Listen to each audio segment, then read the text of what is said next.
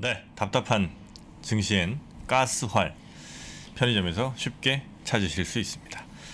그리고 언제나 우리 3프로 TV에서 쉽게 찾으실 수 있는 분 우리 박재영 차장님 오셨습니다. 어서 오십시오. 안녕하십니까? 네. 아니 왜. 갑자기 쉬운 남자로 만드세요? 그러니까요. 아니 어렵게 뭐 그런 모셨다 걸또 또 오해하십니까? 아니 뭐 박세익 전무님은 매일 나오시면 좋겠다 뭐 그런데 바쁘시지 않느냐 그래놓고. 저한테는 지금 편의점에 가는 쉽게 찾을 수 있는 아 이거 어디서 찾아요? 박재영 차, 박재영 차, 박재영 차장 어디서 찾아? 매일 나오고 있잖아요. 아, 그러니까 3% 말고 어디서 찾냐는 거예요. 한국투자증권 유튜브에 오시면 매일 보실 수 있습니다. 네, 바로 아유, 그 채널 쉽게 홍, 찾을 수 있는 거 많네요 예, 그러면. 채널 홍보를 위해서 제가 또 기회를. 드렸습니다. 감사합니다. 아, 뱅키스- 매일 볼 수 있는 거예요? 매일 볼 수. 있습니다. 어. 오전 네. 오후에. 한국투자증권 뱅키스에서 매일매일 볼 수 있잖아요. 네. 네. 음, 아 이렇게 또 이렇게 그 홍보의 신 우리 또 정프로님은 네. 광고를 너무 잘하세요. 네. 광고주들이 너무 좋아하실 것 같아요. 아유, 좀 연락 주십시오. 네. 박재영 차장님과 함께 그럼 오늘 증시 마감 상황부터 한번 살펴볼 텐데 오늘은 크게 뭐 위로나 아래로 가진 않았던 모양이죠. 네 오늘 조금 떨어졌는데 네. 분위기가 그렇게 좋지는 않았습니다. 왜냐하면 전강 후약이어서 아, 네, 아. 코스피가 오늘 시작은 한 15포인트, 뭐 장중 고점은 18포인트까지 상승했었는데 음. 아 이제 뭐 딱히 이유를 막 찾았는데 잘 없더라고요. 중국 음. 증시가 많이 하락한 것도 아니었고 중국 증시가 조금 떨어지긴 했는데 네. 대신에 홍콩은 또 올랐거든요. 음. 그런데 오늘 힘이 좀 빠지면서 마이너스로 전환을 했습니다. 15포인트 마이너스인 3013포인트. 음흠. 이 3천선에 대한 이 부담이 조금 있는 것 같아요 시장에 음. 3천선에서 조금 왜냐하면 완벽하게 시장이 뭐 돌아 나왔다 이렇게 이야기하기가 좀 어려운 부분들이 좀 있거든요. 어제는 이제 미국이 오르긴 했는데 네. 금리도 또 많이 올랐고요. 미국 70년물이 또 다시 1.6% 위로 올랐고 음. 유가도 지금 계속 오르고 있는 상황이거든요. 그래서 조금 아, 걱정스러운 부분들이 몇 가지가 있었습니다. 어제 미국 시장 보면 정리를 조금 해보면 네. 연준 인사들이 안 좋은 이야기를 좀 했어요. 연준 뭐 이사가 나와서 고용이 생각보다 빠르게 회복되지 않을 수도 있다. 음. 뭐 그런 이야기를 했고 어 생각보다 이 인플레이션이 계속되면 내년에 금리 인상 시기 테이퍼링 이후에 금리 인상 시기가 빨라질 수 있다. 이런 음. 이야기들도 했거든요. 네. 그러다 보니까 시장에서는 신흥국이 조금 더 뭐 부담스러운 것 같아요. 오늘 어 코스피 수급을 보더라도 외국인이 한 이틀 정도 반짝 사주다가 음. 오늘은 또 한 700억 정도 순 매도를 했거든요. 그러네요. 네, 오늘 기관이 꽤 많이 팔았습니다. 기관이 음. 오늘 코스피에서는 2천억 정도 팔았는데 음. 이 수급이 굉장히 얇다 보니까 네. 이제 뭐 받아주는 그런 물량이 그렇게 많지 않다 보니까 음. 작은 물량에도 조금 흔들리는 것 같고요. 아, 가격이 네. 네. 코스닥도 마찬가지였습니다. 오늘 6포인트 정도 상승해서 출발을 했는데 음. 오늘 종가는 마이너스 3포인트 하락한 1001포인트. 네. 천선은 지키긴 했는데 음. 어, 조금 뭐 안 좋게 끝났습니다. 이게 상승 종목 수를 보면요. 음. 코스닥이 570 종목이 상승하고 760 종목이 하락했거든요. 네. 네. 3포인트 하락했는데 3포인트 하락했는데 하락 종목 수가 좀 많다라는 음. 거. 이게 조금 어, 걱정스럽고 코스닥 수급도 오늘 뭐 외국인이 좀 많이 팔았습니다. 네. 외국인이 980억 순매도했고요. 기관이 230억 정도 순 매도를 했습니다. 환율을 보면 오늘 4원 50전이나 하락을 하면서 원화가 이틀 연속 어, 좀 꽤 강하게 반등을 그러네요. 했거든요. 음. 네. 원화가 이제 하락을 하면서 원화 가치가 올라갔는데 그럼에도 불구하고 외국인은 생각보다는 우리나라 주식을 크게 매수하지 않는 음. 그런 모습이 네. 원래 뭐 원화 강세는 외국인 음. 매수 요인이거든요. 생각을 너무 희망회로 돌리셨던 건 아니에요 혹시? 뭐 그렇기도 합니다. 생각보다는 이 많이 나오네 오늘. 어제 네. 어제 약간 이제 긍정적인 모습이 아, 있었거든요. 그렇죠. 그래요. 이게 조금만 이어지면 외국인 아. 매수 들어오면서 뭐 삼성전자, 하이닉스 대형주 좀 올라주고 하면 지수가 그래도 3천선 위에 좀 안착을 해야 되는데 음. 그러지 못하면 이거는 또 또 이러다가 또 3천 깰 수도 있는 거거든요. 네. 그래서 좀 아쉬운 마음이 오늘 좀 있는 하루였습니다. 네. 자, 하여튼 뭐 어, 코스피, 코스닥 둘다 아, 뒤로 가면서 조금 힘이 빠졌던 그런 모습이었던 것 같다. 네. 아, 일단 전체적으로 모습이 그랬고요. 네. 그리고 오늘도 그래도 좀 괜찮았던 섹터와 그렇지 않았던 섹터가 나눠지겠죠? 일단 섹터부터 말씀을 드릴까요? 네. 일단은 오늘 제가 이제 보고서들을 쭉 보면서 음. 좀 괜찮았었다 싶은 게 이제 음식료 음. 식료 이제 저희가 곧 reopening 하지 않습니까? 네. 두 분은 다 백신 맞으셨잖아요. 맞았죠. 그러면 8명까지 모일 수 있죠. 네, 여덟- 그렇죠. 열- 저녁 12시까지 8명까지 모일 수 있죠. 네. 그러면 어느 정도 회식 수요 음. 이런 것도 살아날 겁니다. 네. 그럼 음식료가 사실 올해 상반기에 좀 좋았어요. 올 상반기에 네, 올해 한 6월, 7월, 8월까지 좀 괜찮았었거든요. 왜 6월, 좋았죠? 7월 음. 가격을 올렸습니다. 아 가격을 네, 음식료 그랬죠. 가격을 올리면서 야, 우유값까지 올리고 막. 네. 네. 이제 드디어 2015년 같은 음식료의 강한 시장이 곧 올 것이다. 음. 그때도 이제 국제 곡물 가격이 많이 오르면서 음식료 가격을 올리고 음. 그런데 시간이 지나니까 국제 곡물 가격은 다시 떨어지고 떨어지고.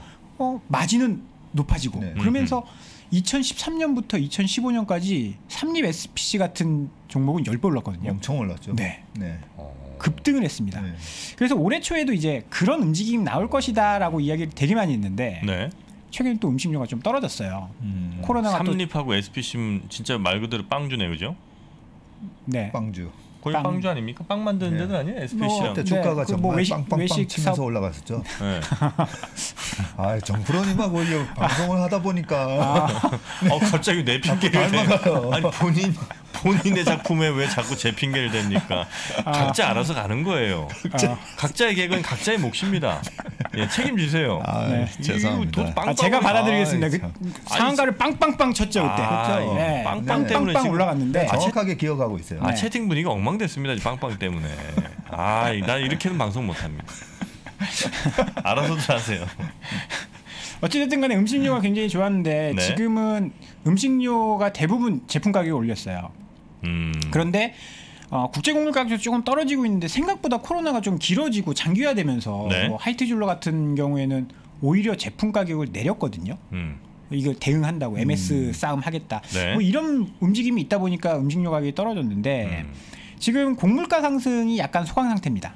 아. 우리가 지금 걱정하고 있는 게 인플레이션인데 에너지 쪽에서만 지금 상승이 막 나오고 있고 네. 뭐 원자재나 국제곡물 네. 가격은 상반기에 오른 게 조금 많이 둔화됐거든요. 많이 음. 빠졌어요. 그렇죠. 옥수수 가격 같은 것도 보면 그렇죠. 고점 대비 한 3, 40% 빠졌어요. 맞습니다. 아, 네. 옥수수는 뭐 대학 찰옥수수가 진짜 맛있는데 네? 아시는 분 있나 모르겠습니다. 대학 찰옥수수요.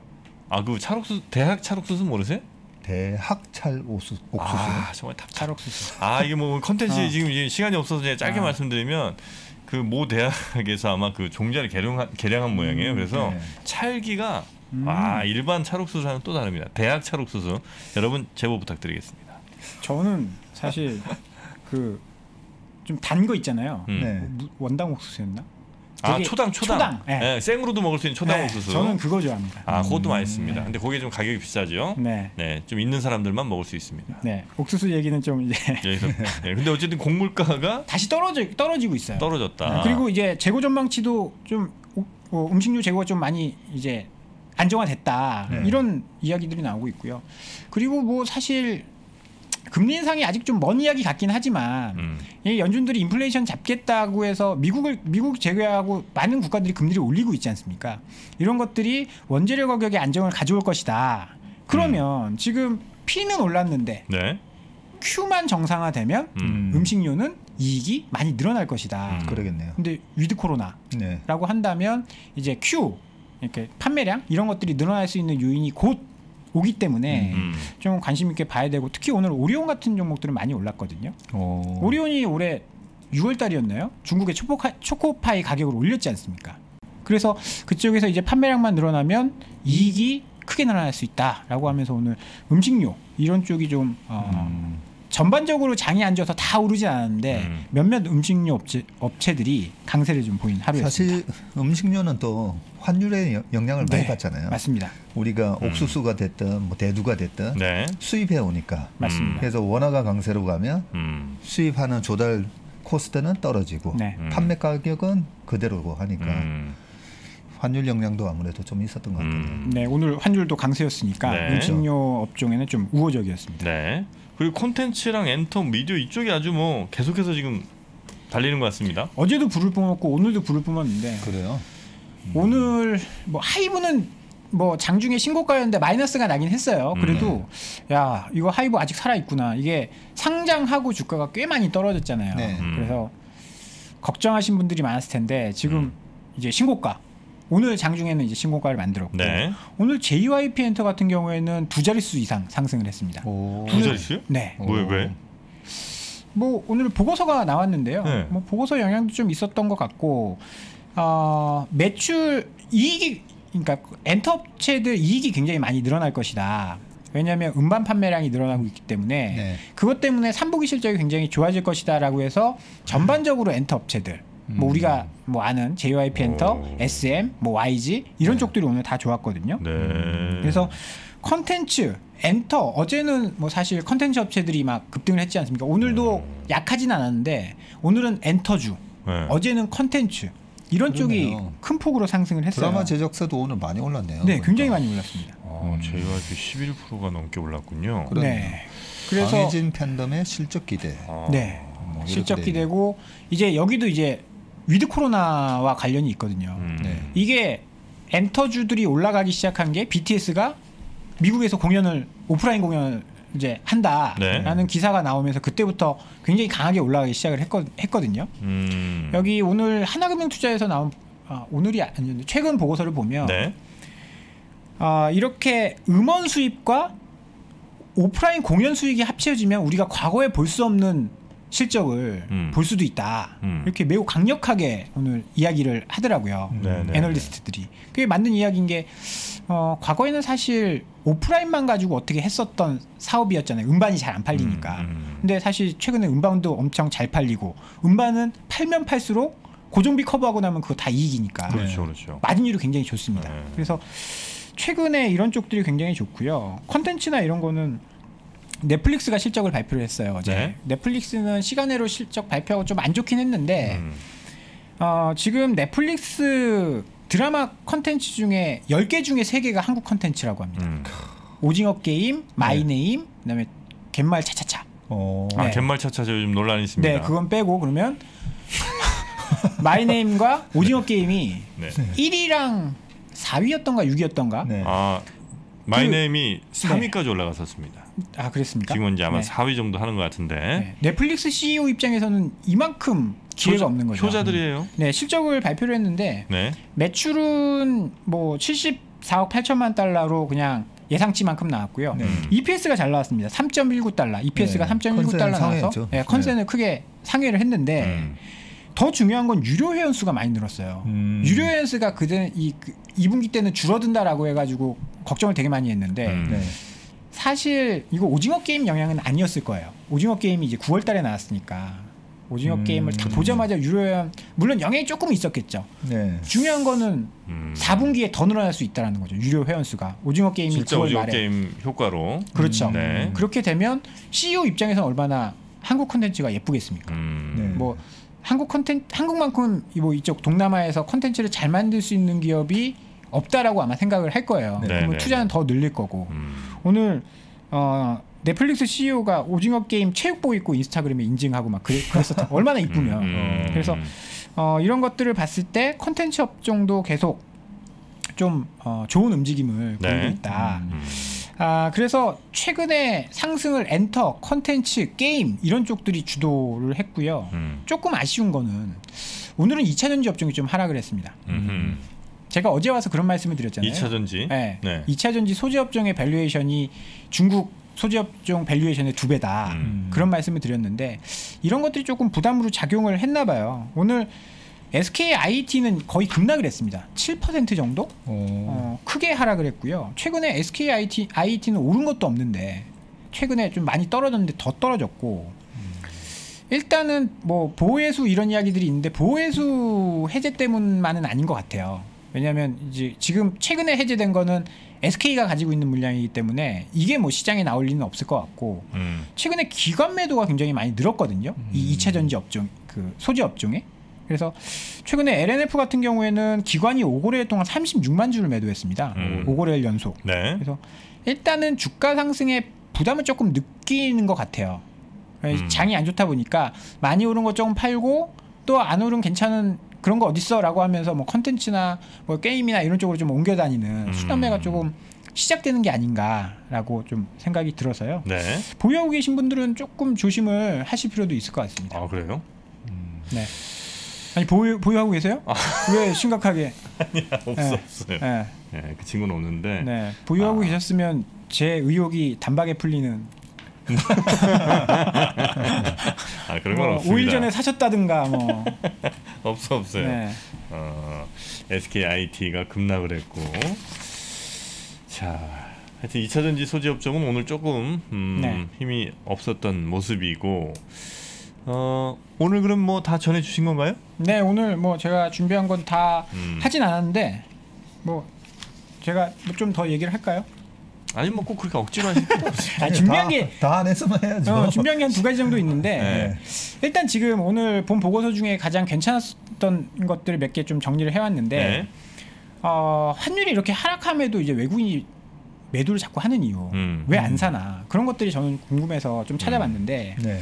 일단 워낙 강세에도 외국인 반응이 미진한 거는 음. 뭐 여러 가지 이유가 있는데 우리나라의 이익 모멘텀이 좀 떨어지고 있다라는 겁니다. 음, 이거는 이건 사실이거든요. 네. 네. 특히 대형주들 외국인들은 중소형주에 그렇게 크게 관심이 없고 삼성전자, 하이닉스 뭐 이런 큰 종목들에 관심이 있는데 일단 대표적으로 삼성전자가 실적 발표를 하고 뭐 4분기에는 실적이 안 좋을 것이다라는 전망들이 굉장히 많아요. 음흠. 이게 펀더멘탈적인 요인이 네. 될수 있을 것 같고 그런데 대신에 내년에 이익 모멘텀은 대형주보다 중소형주가 좋거든요.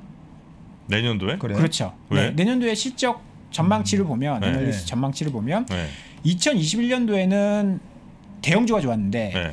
2022년도에는 뭐 삼성전자가 실적 추정치가 낮아지니까 음. 대형주보다는 중소형주가 이익 추정치가 좀 더 높아지고 있습니다. 음. 어. 그런 영향이 좀 있는 거고요. 네. 또 하나는 지금 외국인의 수급이 없이는 대형주가 못 가고 MSCI를 추종하는 ETF에서 한국 비중이 좀 하락하고 있다. 음흠. 이유는 지금 다른 신흥국 중국 비중도 조금 올라가고 있고요. 네. 러시아라든지 그렇죠. 인도네시아 네. 이런 원자재 하는 이런 국가들의 비중이 좀 오- 올라가고 있다라고요. 음. 이 영향도 passive 자금에 좀 영향을 줄 수 있는 것 같다. 그 원자재 가격 상승 때문이에요? 그런 것 같아요. 아, 뭐 그렇죠. 보고서에는 구체적으로 그렇게는 이야기 안 했고 원자재 에, 생산국들의 비중이 올라가고 있다라고만 이야기를 했거든요. 음. 근데 이유는 원자재 가격이 올라가는 거 아니겠습니까? 그렇겠죠, 뭐. 네. 네. 그런 부분 때문에 외국인이 조금 어, 수급이 네. 이거는 우리뿐만이 아니라 대만도 마찬가지라고 해요. 대만도 마찬가지라고 음. 하고 MSC에 그렇게 막 아, 엄청나게 첨단의 어떤 분석이나 이런 걸 통해서 뭘 선택하는 것 같지가 않네요.